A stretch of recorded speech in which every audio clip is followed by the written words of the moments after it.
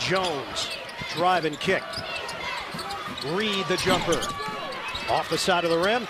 Nice forward on the inside. Counted in a foul. Elijah Minnie working the glass. And an opportunity to tie at the line. And, and you know, different things energize different people. Watch Elijah Minnie with the long arms. He elevates quickly. You can see the energy. He hits a three last time down. Some guys, you get him a dunk.